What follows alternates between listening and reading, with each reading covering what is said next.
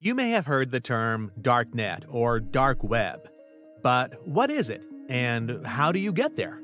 First, let's clear up some common misconceptions. The dark net is not dark in color, nor does it look like the Matrix. It's not illegal to visit the darknet, nor is it more complicated than using a regular web browser. The darknet is called dark only because it exists on a computer network that is hidden. That is, nobody knows where those computers are and who operates them. To access the darknet, you need a browser called Tor. Tor can be downloaded by anyone, and voila, you have instant access to the darknet.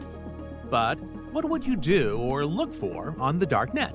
Since darknet websites can be operated anonymously, selling and or buying illegal products such as drugs, weapons, hacking services, and much more is not surprising. According to research, about 60% of all darknet websites offer illegal content.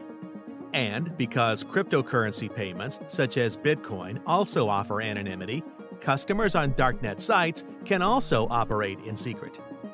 But is all darknet content illegal? Absolutely not.